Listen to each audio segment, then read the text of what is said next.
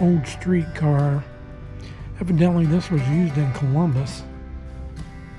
It says Fairground and 17th Avenue.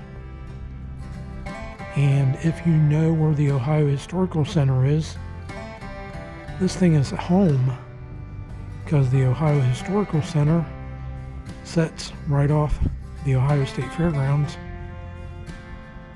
Actually sits right at the edge of the parking lot. Go inside and take a look around the streetcar here. I can get up in here without falling.